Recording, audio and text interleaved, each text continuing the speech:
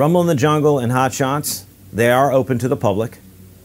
Uh, Rumble in the Jungle is a little bit more of an advanced type of three gun competition. Not your typical all about speed three gun, just as how fast you can shoot targets and how quickly you can get through the course of fire.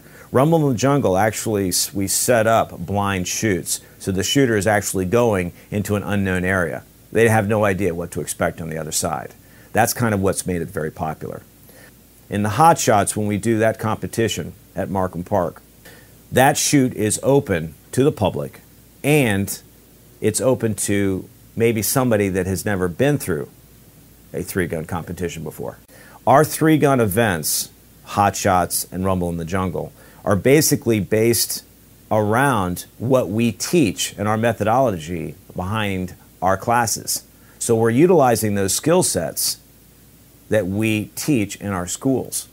So if you're an outside shooter and you're coming in to Rumble in the Jungle for the first time, and you've all you've done is shot typical three gun, you may miss those targets that are behind you because in a competition setting, you don't shoot at targets at your back.